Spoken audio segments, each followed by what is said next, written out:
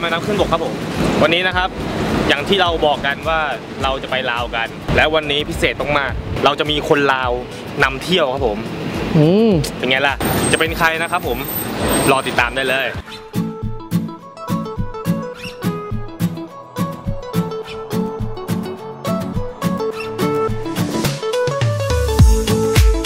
และตอนนี้นะครับผมเราก็ได้เจอคนที่จะพาเรา ไปเที่ยวสวรรณเขตกันนะครับผมอ่ารบกวนพี่แนะนำตัวหน่อยครับเอาสบายดีอ่าข้าพเจ้าก็เท่าสื่อเท่าภูมิสักดาภูมิสวรรค์อ่าเมื่อนี้ก็จะได้อ่าพาน้องถามไปแขวงสวรรณเขต เมืองไกรสอนพงวิหาร ไปอ่าท่องเที่ยวไปเบิ่งวัฒนธรรมครับผมอ่าการค้าขายอยู่แขวงสวรรณเขตเป็นจังใดสถาปัตยกรรมเก่าแก่ของสวรรณเขตโอเคครับผม เพื่อไม่ให้เป็นการเสียเวลาครับผมเราไปเที่ยวแขวงสวรรณเขตประเทศลาวกันครับผมไป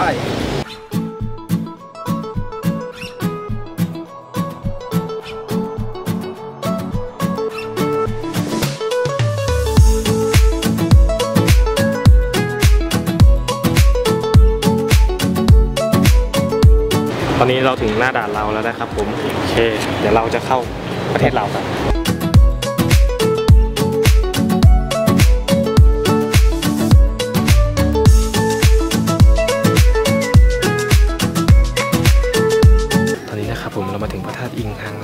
เราต้องสำรวมนิดนึงเพราะว่าสถานที่ศักดิ์สิทธิ์พอสมควรก็จะให้คุณบอมนะครับ เป็นคนให้ข้อมูลกับเรานะครับ ผมเราไปกันดีกว่าครับ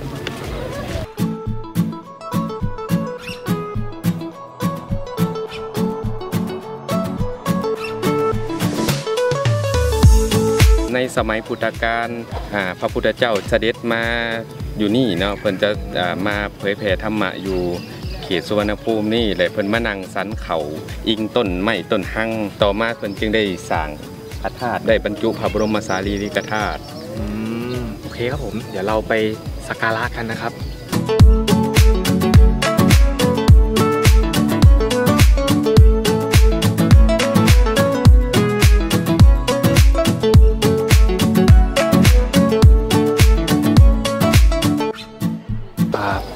วยมากเลยนะครับ คือพระธาตุตรงเนี้ยเราเขาเขาบอกว่าไม่ได้ซ่อมแซมหรือบูรณะอะไรมากมายเลย สมัยก่อนเป็นยังไงสมัยนี้ก็ยังเป็นอย่างนั้นนะฮะ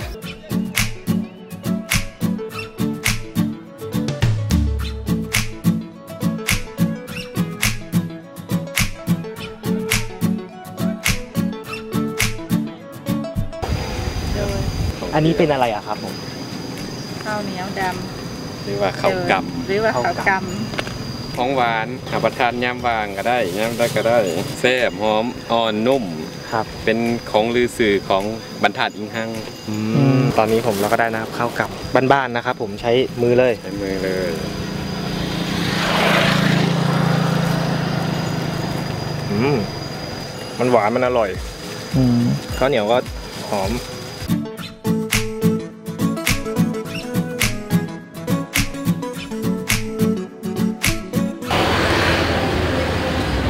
ตรงนี้เป็นร้านขายของป่ะ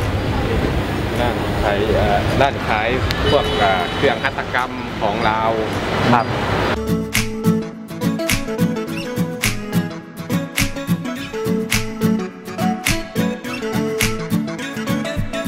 คนลาวนั่นจะบอกว่าจะไปไปทำงาน ไปโรงเรียน งานกินดองไปวัดก็จะนุ่งผ้าสินเพื่อรักษาวัฒนธรรมลาวผ้าสินก็มีราคาต่ำจนหดราคาสูงสูงสุดกับพื้นหนึ่งกับประมาณอ่าหาหกสิบล้านก็มีหาหกสิบล้านก็ประมาณสองสามแสนบาทก็มีผ้าสินอืมเพราะว่าสีทอด้วยทองคอ๋อำก็จะแพงตามลวดลายครับ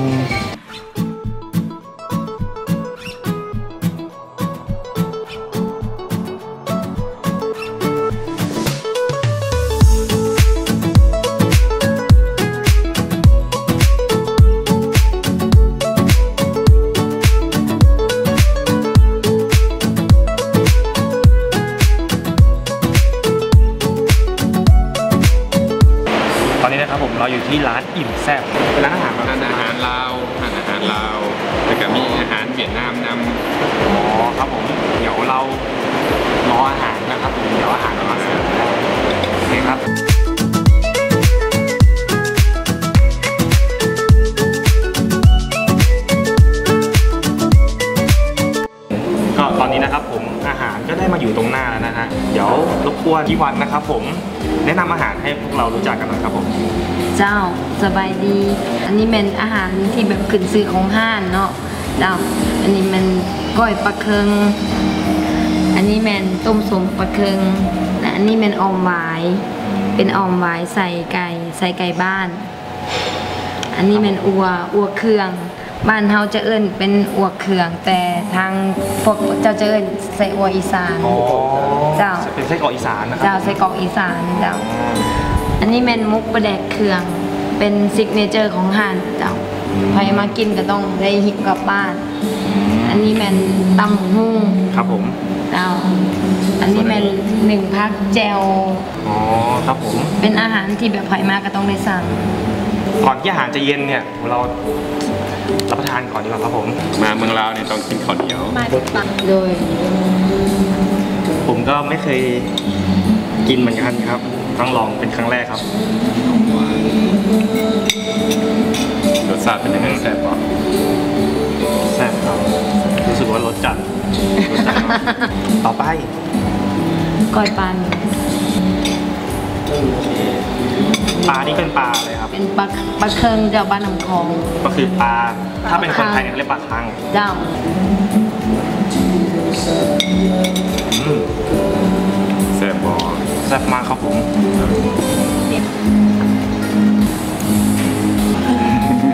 กินเผ็ดบ่ได้จะใส่ต้มใส่ใบมะขาม มันจะออกเปรี้ยวๆหอมๆครับผม ใส่วัวทรงเครื่อง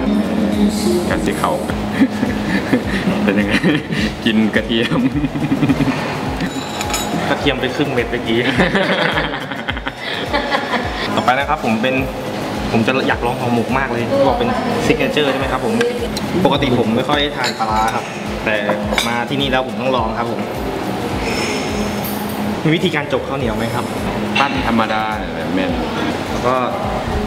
จิ้มคุยไว้ก็จะห้องภาษาลาวห้องคุย คุยคุยโอเคครับผมแล้วก็เอาเข้าปากมัมอืมแซ่บปอเป็นยังไงรสชาติรสชาติมันนัวครับนัวรู้สึกว่ากลิ่นกลิ่นปลาร้าแต่ไม่แรงใช่ไหมแม่กินปลาแดกนี่สิบ่แห้งก็จะใส่ทรงเครื่องเพื่อพวกหมูสับนำไปเอาแต่น้ำปลาแดกนะใส่ต่อไปนะครับผมเป็น ส้มตรสชาติมันสิเผ็ดหน่อยนึงสั่งเผ็ดำ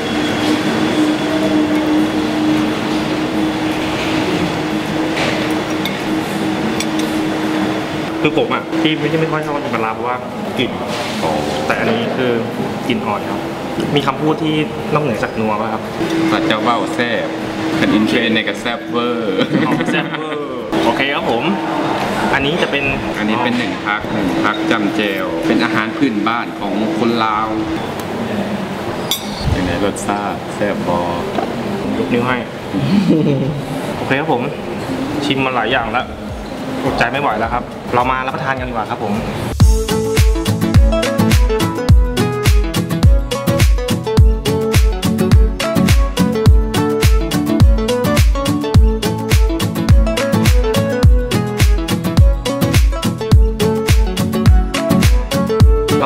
จากที่เรารับประทานอาหารกันเสร็จแล้วนะครับ ผมทางร้านเนี่ยก็มีขนมหวานสูตรพิเศษเฉพาะทางร้านเลย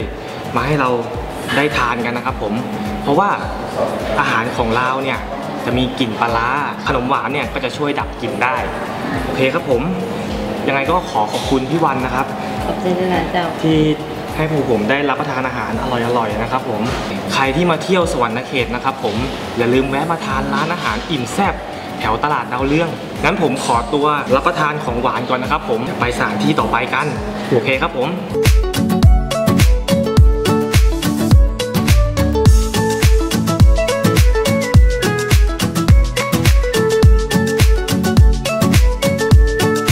ตอนนี้เรามาอยู่ที่โซนเมืองเก่าแล้วนะครับผม ตอนนี้เราอยู่ที่หน้าร้านสวรรค์คาเฟ่ครับผม พี่ครับขออนุญาตแนะนำตัว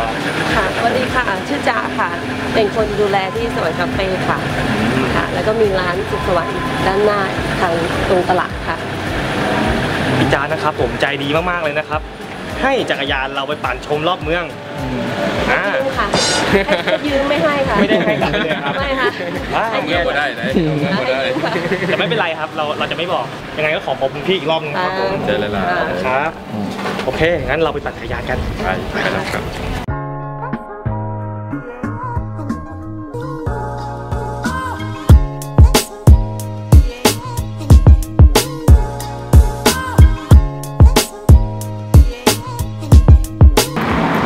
นี่ก็แมนห้านกาแฟเนาะต้องแต่งแบบเงื่อนเก่าทรงเก่าดั้งเดิม แบบสถาปัตยกรรมแบบฝรั่งเศสอ๋อครับผมได้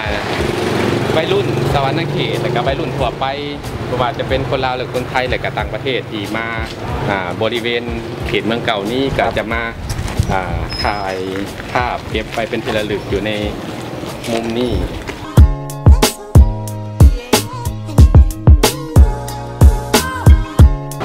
โอเคครับผม ตอนนี้เราอยู่ที่นาร้านกาแฟแล้วนะฮะที่คนนี้ครับคือเจ้าของร้านนะครับผม ขอแนะนำตัวหน่อยครับครับที่หนึ่งครับที่หนึ่งนะครับเดี๋ยวเราเข้าไปกินกาแฟข้างในกันครับได้ครับได้เลยครับ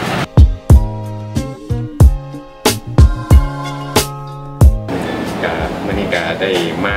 ทานกาแฟสุขสวรรค์ที่ตรงเนี้ยเป็นเป็นตึกเก่าครับใช่ทำไมพี่ถึงเลือกตรงเนี้ยตึกเก่าเรื่องนี้เพราะว่าชอบและประทับใจในตึกนี้ เพราะว่ากำแพงตัวนี้ มันขึ้นเคยขึ้นอยู่ในนิตยสารของบ้านและสวนโดยคุณจิรศักดิ์มาถ่ายรูปเอาไว้ครับแล้วก็ตามมาเรื่อยๆ จนมามาเห็นมาเห็นคือว่าเป็นตึกนี้จริงๆแล้วสภาพทรุดโทรมมากก็อยากอนุรักษ์เอาไว้เพราะตึกนี้สร้างถ้าถ้าจำไม่ผิดเนาะตั้งแต่ปี 1926อ่าแล้วก็ปีนี้ก็ 91 ปี ที่ผมดูแล้วเนี่ยคือพี่ไม่ได้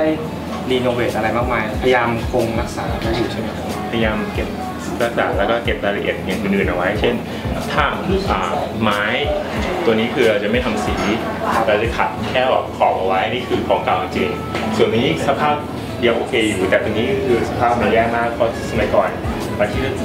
ที่จะมาทำร้านมันร้านค้ามันโปร่งออกมาพื้นก็จะพังไปอื่นๆแล้วก็อย่างตัวนี้เราจะมาเสริมเพราะว่า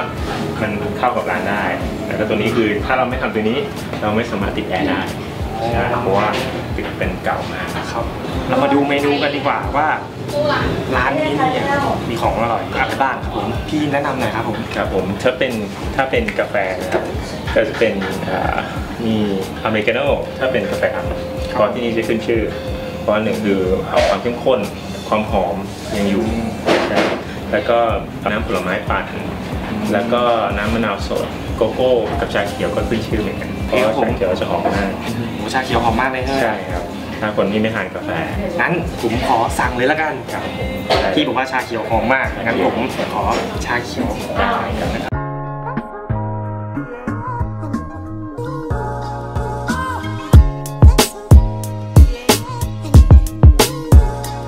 มานะครับผมกาแฟแล้วก็ชาเขียว เรามาลองชิมกันดูดีกว่าครับผมแซ่บบอก ถ้าเป็นภาษาเราวนี่ต้องบอกว่าแซ่บอีหลีตัวใช่ไหมครับแซ่บอีหลีแซ่บแซบอีหลีเฉยๆแซบอีหลีแซบอีหลีครับผมหอมนะครับพี่ครับตรงนี้พี่เปิดมานานหรือยังครับอ่าเกือบ 2 ปีแล้วครับเปิดเราเปิดวันที่ 9 เดือน 9 ปี 2015ครับเลขสวยมากเลขสวยครับ 2015 แล้วก็เดือนกันยานี้ก็ครบ 2 ปีเต็มครับผมแล้วช่วงไหน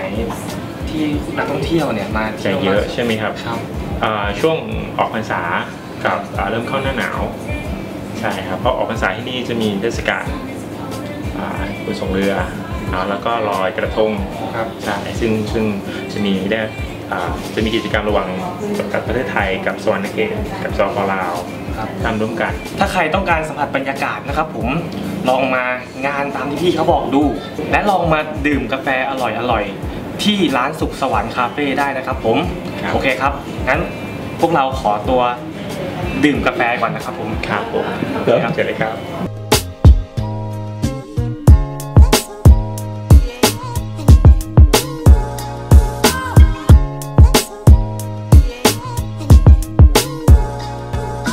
โอเคครับผม เดี๋ยวเราไปปั่นจักรยานต่อกัน ไงก็ขอบคุณพี่บ้านครับผมครับผมยินดีครับครับโอกันหน้าเชิญใหม่นะครับครับผมยินดีครับผมครับผมไปกัน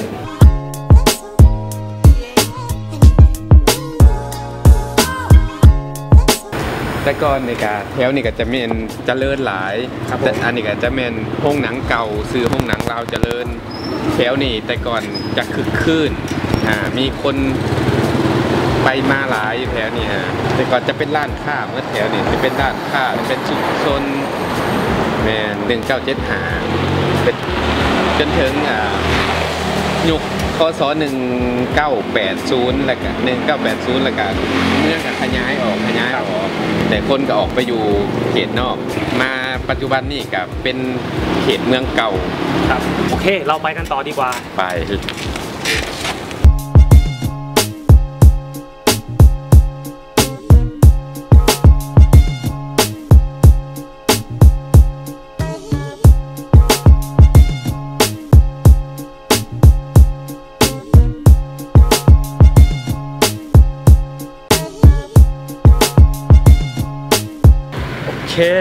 อนนี้เราอยู่ที่ไหนครับพี่ อ่าอันนี้ก็เป็นโบสถ์โบสถ์คาทอลิกเนาะเป็นโบสถ์ของอาศาสนาคริสต์เป็นโบสถ์เก่าแก่ประจำแขวงสวรรณเขตเราลองเข้าไปดูข้างในกันดีกว่าเลยครับผมเจ้า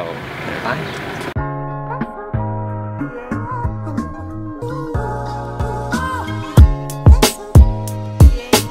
เดี๋ยวเราจะไปที่ไหนต่อครับพี่อ่า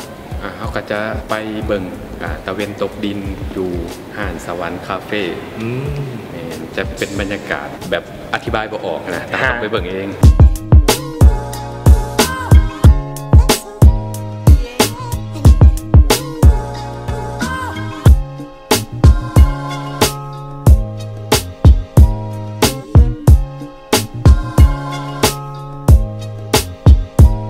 กี้ที่พี่บอกว่าไม่สามารถบรรยายเป็นคำพูดได้เนี่ยจริงครับสวยมาก จะเห็นอ่าวิวแม่น้ำโของครับแล้วก็กรมการขับเนี่ยก็เป็นจังหวัดมุกดาหารประเทศไทย เราปั่นจักรยานมาเหนื่อยๆครับผม เราพักผ่อนกันก่อนดีกว่า นั่งชิวๆเสพบรรยากาศชมวิวใช่ครับผม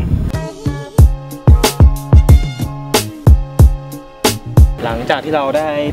พักไปเมื่อกี้นี่นะครับ หลายคนอาจจะสงสัยพี่ที่ให้ความรู้กับเราเนี่ย เป็นใครขอถามเลยนะครับผมว่าพี่เนี่ยเกิดที่นี่เลยใช่ไหมครับ ผมเจ้าแม่นแล้วขอยครับพระเจ้าเองก็เกิดอยู่ในแขวงสวรรณเขตนี่เลยเนาะพินิกา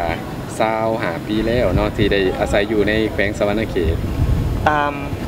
วิถีชีวิตปกติของชาวสมรเขตเนี่ยครับ เป็นยังไงบ้างครับผมแม่นดำรงชีวิตแบบเรียบง่ายครั บบอหรูหราแบบอยู่แบบประหยัดมัธยัติครับแบบบ่ฟุ่มเฟือยแล้วก็ดำรงชีวิตแบบบ่วุ่นวายอยู่แบบเงียบสงบ ถ้าพูดง่ายๆสำหรับผมเนี่ยก็คือสบายๆชิวๆชีวิตไม่เร่งรีบถือว่าเป็นชีวิตที่น่าอิจฉาครับผมเพราะว่าบางครั้งคนเราเนี่ยแข่งกับเวลาแข่งกับอะไรหลาย ๆ อย่างครับผมแหมสวรรณเขตเฮานี่บ่มีครับรถติดบ่มีความวุ่นวายตื่นเช้ามากกะเฮ็ดเวียกทำงานปกติครับเลิกเวียกเลิกงานมากะ ไปตลาดลงจ่ายตลาดซื้อของอยู่ของกินเมื่อ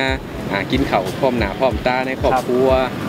โอเคครับผมพี่มีอะไรจะเชิญชวนให้มาเที่ยวสวรรณเขตไหมครับผมเราก็อยากขอฝากถึงอ่านักท่องเที่ยวดีจะมาอ่าท่องเที่ยวในแขวงสวรรณเขตนะโดยเฉพาะแม่นเมืองไกรสอนพรหมวิหารเมืองไกรสอนพรหมวิหารนี่ก็มีแหล่งท่องเที่ยวบ่ว่าจะเป็นทางด้านวัฒนธรรม สถาปัตยกรรมต่างๆเนาะดังที่พาไปอ่าทัวร์ ในมดมือที่ผ่านมาในกาสถาปัตยกรรมกับแบบฝรั่งเศสเนาะเป็นเมืองเก่าเนาะแล้วก็จะขอเชิญชวนให้บรรดานักท่องเที่ยวทั้งหลายามาร่วมส่งเสริมการท่องเที่ยวอยู่แขวงสวรรณเขตของพวกเฮาพี่เชิญชวนขนาดนี้แล้วนะครับผมไม่มาไม่ได้แล้ว ต้องมากันแล้ว โอเคครับผม เรานั่งชมบรรยากาศกันต่อ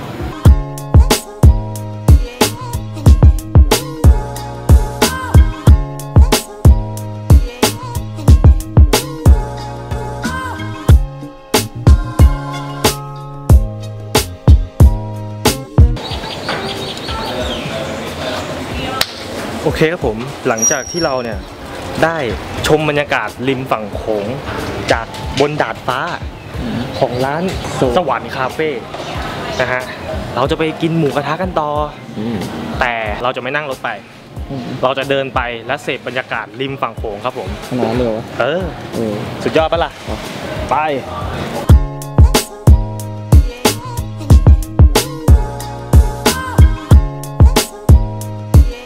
หลังจากที่เราเดินมาประมาณร้อยกว่าเมตรแล้วเนี่ย เราก็ถึงร้านละชื่อร้านว่าจิ้มจุ่มมุมสบาย อืมอ่าจะสบายขนาดไหนเนี่ย ไป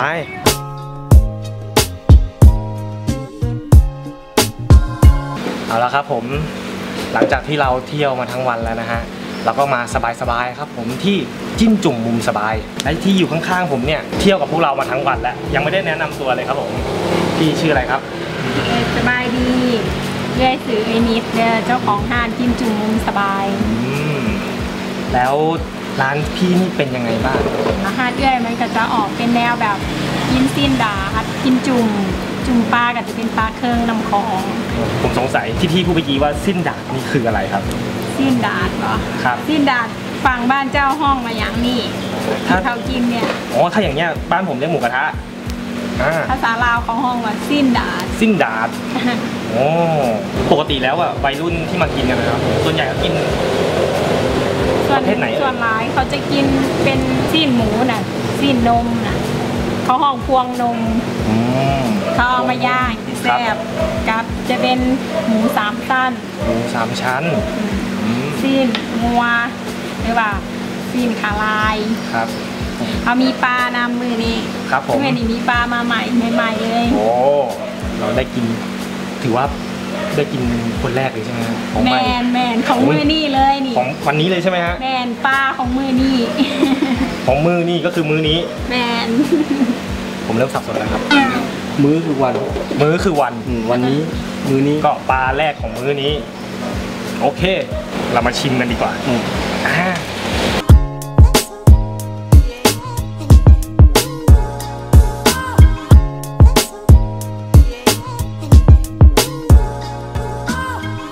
แล้วสิ้นดาบเนี่ยมีน้ำจิ้มอะไรบ้างครับผม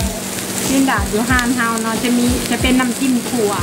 อันนี้อันนี้เป็นน้ำจิ้มถั่วอันนี้น้ำจิ้มถั่วเนาะค่ะตัวนี้จะเป็นแจ่วขมแจ่วขมที่กินกับพวกเนื้อแจ่วฮ้อนอ๋อแล้วอันนี้ครับ ตัวนี้แมนแจ่วมัมเนมกินกับจุ่มปลาก็คือเป็นน้ำจิ้มปลาร้านั่นเองเจ้าถูกแม่ไหมครับ ตรงนี้จะเป็นสิ้นดาบฝั่งนู้นก็จะเป็น แจ่วฮอนเดี๋ยวเดี๋ยวเดี๋ยวสำเนียงเพี้ยนไปแล้วแจ่วฮอนอ่าเออเรามาลองชิมกันดีกว่าครับผม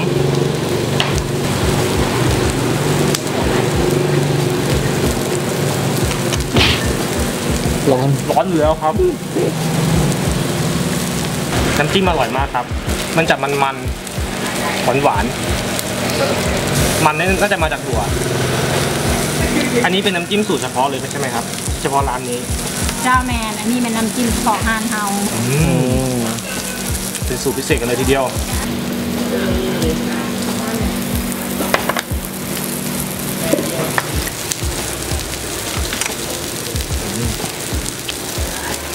ฟินมากแซ่บแซ่บอีหลีตัวตัวมันนัวมันแซ่บบักคักอร่อยครับผม เดี๋ยวลองนี่อันนี้เป็นเนื้อปลาเคิง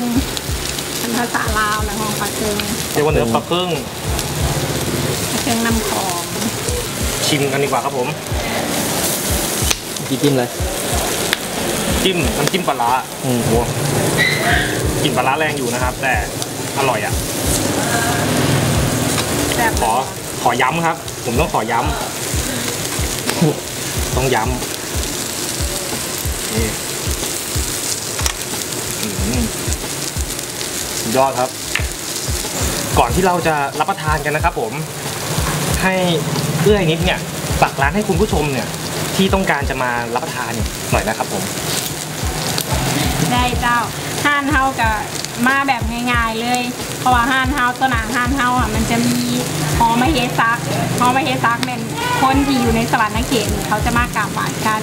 ในอีกด้านหนึ่งของเฮาก็จะเป็นวัดใหญ่ชัยภูมิที่ เป็นวัดที่มีสื่อเสียงเฉพาะอยู่ในสวรรค์เขตนี่นะเจ้าโอเคครับผม เรามารับประทานอาหารกันดีกว่าครับผม โอเคครับ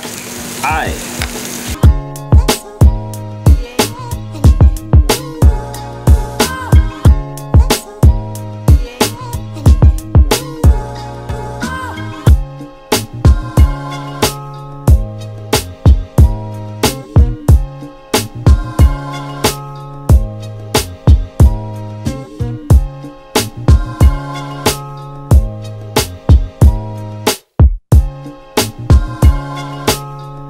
นนี้เราก็ถึงประเทศไทยเป็นที่เรียบร้อยแล้วนะครับ ผมยังไงทริปในวันนี้เนี่ยต้องขอบคุณอ้ายบอมมากเลยนะครับ ผมขอบคุณมากครับผมเป็นอย่างโดยผมยินดี ที่ให้ความรู้แล้วก็พาพวกเราเที่ยวแถมยังพาไปกินอาหารอร่อยอีกครับ ผมโอเคครับเดี๋ยวเราลาพี่บอมตรงนี้แล้วครับผมครับแล้วครับสบายดีครับผมจะละลสบายดีครับผมสบายดีครับไปแล้วครับผมอ่าตอนนี้นะครับผมเราอยู่ที่นมอุดมจอดรถหลังร้านได้นะครัเฮ้บ ยยาวไป ยาวไปเหรอ เออ เอาแค่ข้างบนพอนมอุดม ไม่ใช่ จอดรถ บ้า เฮ้ยพูดเล่นไป วันนี้เราไปเที่ยวสปปลาวมาอ่าแขวงสวรรณเขต สิ่งที่ผมประทับใจเลยนะครับ ในการเที่ยวสวรรณเขตครั้งเนี้ยคือเมืองสวยสงบรถไม่ติด เป็นเมืองน่าเที่ยวเมืองหนึ่งเลยนะ และที่สำคัญเนี่ยอืมทุกคนลาวน่ารักมากโดยเฉพาะพี่สองคนนะครับไอ้บอกกับเอื้อยนิดอืมพี่สองคนเนี่ยดูแลเราดีมาก ตั้งแต่ต้นทริปยันจบทริปเลยครับผมยังไงก็ขอบใจหลายทริปลาวก็จบลงไปแล้วนะครับผมพรุ่งนี้จะไปไหนต่อเนี่ยโปรดติดตามรายการแมวน้ำขึ้นบก เวลาเดิมวันเสาร์เที่ยงตรงที่ Channel 8 Thailand ครับผมสำหรับคนที่ดูผ่าน Facebook หรือ YouTube นะครับผมอย่าลืมกดไลค์กดแชร์ กด Subscribe นะครับผม เดี๋ยวก่อนสำหรับคนลาวที่ดูรายการผมอยู่นะครับฝากแชร์ต่อๆกันไปด้วยเนาะสำหรับวันนี้สบายดี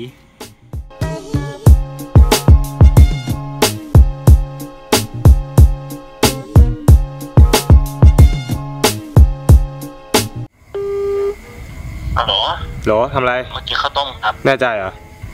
เออกินข้าวต้มครับ ชัวร์เหรอตัวครับวงนักร้องเลิกเสร็จแล้วครับ ก็ร้านปิดเที่ยงคืนก็เลยมาต่อกินข้าวต้มครับผมโอ้นึกว่าโกหกอะถูกอะถูกของมึง พรุ่งนี้มามุกนะ มามุก เออ มุกไหน มุกดาหาร ไหนกู มุกดาหารไง มุกดาหาร เออ ให้กูไปยังไง มึงนั่งถากูหน่อยมึงนั่งเครื่องมา มึงเห็นที่กูลงอินสตาแกรมไหมเดี๋ยวกูจองเดี๋ยวกูจองเครื่องให้เดี๋ยวกูจองเครื่องให้กูเพิ่งออกมาจากคอนเสิร์ตเดอะเยอะแล้วคือมึงจองเครื่องให้กูไปพรุ่งนี้จองเสร็จแล้วใช่ไหมจองแล้วจองแล้วเฮ้ยกูจองเสร็จแล้วว่ะโทษทีโทษทีกูจองเสร็จแล้วโโหเออแค่นี้แหละโอเคนะแต่กระเบียนะงั้นงั้นเก็บเสภาพเลยแล้วกันมึงพูดอะไรไม่ค่อยได้ยินเลยอะมึงพูดอะไรวะเดี๋ยวเดี๋ยวเดี๋ยวแล้วโอเคนะโอเคแค่นี้แหละหวัดดีครับ ผมหวัดดีหวัดดีหวัดดี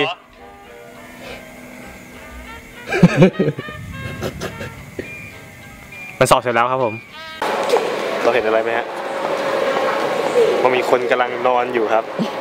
เมื่อคืนสงสัยน่าจะหนักน่าดูเลยกูกูกลัวทีวะว่าแล้วกูต้องไปอย่างนี้แน่นอน ถึงนอนเมืองได้เจ็ดโมงทำไมกล้านอนด้วย กูกลัวกูกลัวเลยบอกนะไม่ได้นอน ไม่ใช่ไม่ใช่จริงปะเนี่ย จริงมึงลองเปิดรายการดิ สวัสดีครับ วันนี้เรามาพบกับรายการเป็นน้ำขึ้นบกกันอีกครั้งนะครับผม อ่า ก็เหมือนเดิมเหมือนเดิมนะฮะ ไปเที่ยวกันอยู่ร้อยเอ็ด ไม่ต้องอยู่ร้อยเอ็ด